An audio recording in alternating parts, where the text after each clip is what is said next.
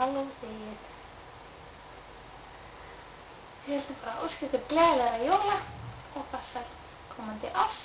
Við söknum ykkur að sjálfsögðu en við hugsaum vel til ykkar og eigum frábært ykkur. Langt að döð. Já, sömuleiðis.